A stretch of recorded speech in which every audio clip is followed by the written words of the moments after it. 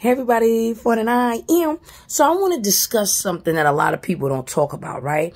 A lot of us, right? I need you to stick with me with this. A lot of us have been groomed to love harder on people that disrespect us, has shown us more than once that they don't like us, they don't love us, they cheat, they lie, they deceive, and we tend to love harder on these people. And a lot of you probably thinking like, well, I was never groomed to do that. Nobody nobody told me that. No, but you were shown that. How many times you done seen your mama your grandmama, your auntie, your older cousin deal with someone that is completely out of line with it. Well, you gotta give people second chances. Well, maybe you, and you start to love on people. You start to, how can I say this? I want to say this correctly. We love on people more when they treat us poorly. You do not have to do that. A lot, even myself, I've been groomed. I've seen it. Like, they treat you like doo-doo, baby, and you still here, and then you start looking at yourself like, am I still here after all, after all the disrespect and craziness? Absolutely not. You, a lot of people don't want to have that conversation. Nobody outright tells you, hey, if somebody treats you like crap, you love on them until they can't love themselves, or you love on them enough to, bull, bullshit, bullshit, bullshit, bullshit. We not doing none of that. And I didn't even realize this, but what brought this conversation along because I'm currently at work. I'm on my break right now, right? Boom. And when the lady was talking, I'm just like, wow, we've we've been groomed. A lot of us have been groomed to to deal to respond to someone disrespecting us, respond to someone blatantly showing you that they don't want you, they don't like you, they're not going to spend time with you, they just, what, whatever, whatever the, the, case may be. And we love on them harder and we go harder. Well, let me do this, let me do that, let me do this, let me do that. You don't have to do anything, but back up. You know, and I, I say this because I had an earlier conversation. This is about to get surgical. I didn't think it was going to go this way. I had an earlier conversation with someone about, about my, my, my, my blocking. And yes, I, I will block you. Yes, yes, yes, yes, yes, yes. That's me. I'm, I'm, I'm block nation. I'll block you. And before I block the person, I usually go through, well, who do we have in common? Cause then I have to block them too because I don't want the book, your, your mama, your daddy, your, your baby mama, everybody, every, even if we not friends, I just want the blocking to be in place because I don't want to deal with it. Cause I already know it's going to some bullshit, bullshit bullshit. It's gonna be bullshit. I don't want to do. I will block your little your little cousin can have an eight year old page, and I'm blocking her too. Everybody gets blocked. And I was I was conf- I feel like I was confronted. You know that like. Well, I, that, the person said, well, but that's real immature. Why would you just do that without an explanation? Everybody don't deserve an explanation. And I'm a firm believer in this is that if I know that I can know like so much has been done that I know I can I can no longer be a good friend to you a good anything to you, whatever the relationship is.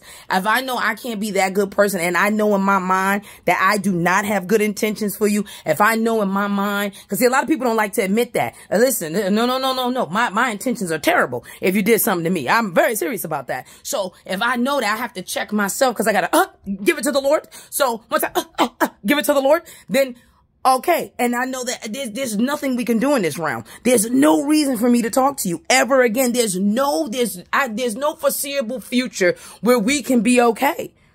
No, abs, abs, absolutely not. No, you know, because I have a bad habit of when people do me, when, when, especially in intimate relationships, not, and even friendships too. I would say that too. Like if something was done to me, I'm like, okay, well, you know, I try to, and I said this in my last video. I try to be understanding, but sometimes we overstand. I'm not overstanding anything anymore. Those days are over.